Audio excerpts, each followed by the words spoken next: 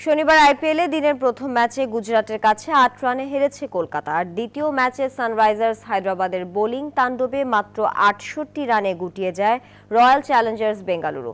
জবাবে নয় উইকেট আর বারো ওভার হাতে রেখে ম্যাচ জেতে হায়দ্রাবাদ। মুম্বাইয়ের নয় উইকেটে গুজরাট একশো ছাপ্পান্ন রান তোলে। অধিনায়ক হার্দিক পান্ডিয়া করেন সর্বোচ্চ সাতষট্টি রান।